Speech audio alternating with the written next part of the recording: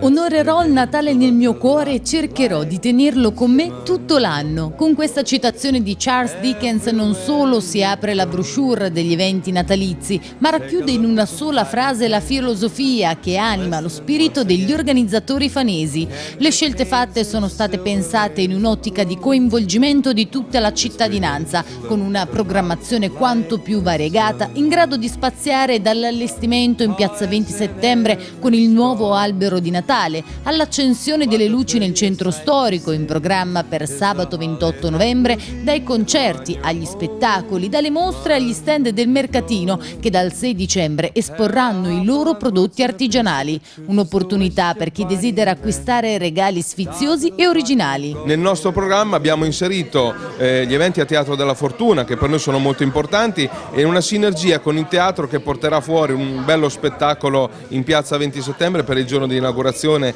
di cui parleremo, avremo la città aperta a livello di musei, monumenti, eh, nella nostra brochure abbiamo inserito tutte le aperture dei musei, ma eh, non solo, abbiamo programmato delle visite guidate con Manuela Palmucci e qualcosa anche con il nostro vicepresidente Luca Fabbri che ci faranno conoscere la città, quindi chi vuole potrà programmare queste visite. E ancora tanto altro, non sto a citarlo perché è veramente lungo. Anticipo una cosa che presenteremo che per l'ultimo dell'anno gli spettacoli saranno ben due, uno all'interno all'interno del teatro e uno in piazza 20 settembre e il tutto si chiuderà logicamente il giorno della Befana dove sarà una giornata interamente dedicata ai bambini dove porteremo, anzi la Befana porterà calze per tutti i bambini. È un programma che non ha precedenti secondo il sindaco Massimo Seri, convinto che le iniziative riusciranno a dare un segnale forte alla città ma al tempo stesso attrarre turisti grazie ad una campagna promozionale fatta a livello nazionale in collaborazione con altri comuni e proloco provinciali. È un bel messaggio che noi diamo, anche di ottimismo